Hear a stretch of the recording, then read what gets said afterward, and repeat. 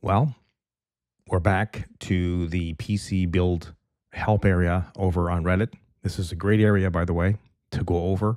Uh, if you are having problems, you can post over here, but be warned, Reddit is, well, kind of like the Wild West. So, you know, when you get those new products, a lot of them come with plastic film on them. Some products come with stickers. Some people, and I never could understand this, just leave the stickers and leave the plastic on there.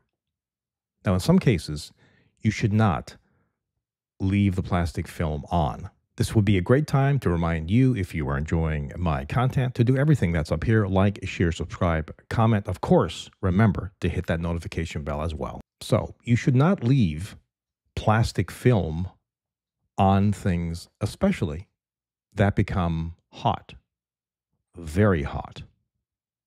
Then maybe manufacturers should not be shipping them with plastic film on them. I understand why, because, well, they don't want them to get scratched and get returned.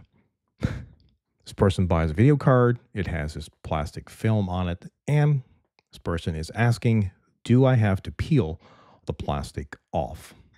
Yeah, I would peel it off for sure.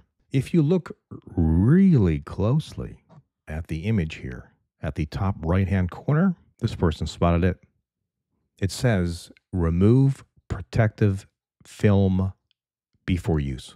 And of course, in true Reddit fashion, there are some really funny comments here. Like, reading is really hard for 98% of people that post here.